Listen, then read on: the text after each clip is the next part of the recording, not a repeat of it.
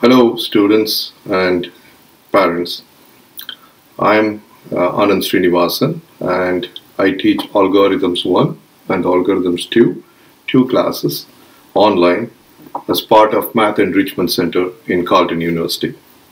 And this is for students who are in the schools so that they can learn algorithms in, in a very formal environment. Students have already got used to algebra. Now that would be like solving an equation uh, for a variable or two. But what is important is how do you now take that particular thing to the next step and solve a complex problem.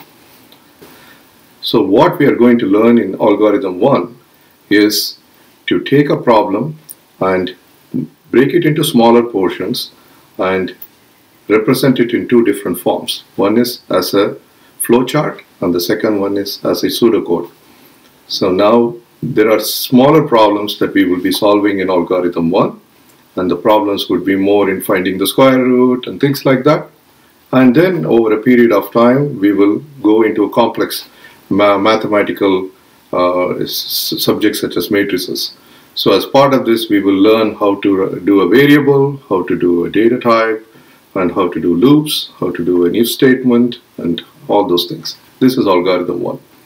In algorithm 2, we go a bit more deeper into this subject where we will be talking more from graph algorithm point of view. How do you find a shortest path uh, in a graph? And uh, how do you find the optimal value or flow and things like that? So this would be helping kids to understand a bit more um, in depth into mathematical problems on how to really solve it using a pseudocode. Not only that, they will learn how to resolve these particular problems using C language.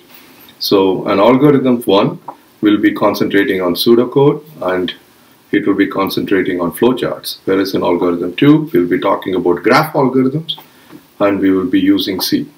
So I really want you to take a look at uh, the website in Carleton University and see whether your uh, kids uh, actually would be uh, you know interested in this particular uh, field.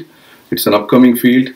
Uh, it is used in many of the places such as networking field, networking and communication areas as well as design areas.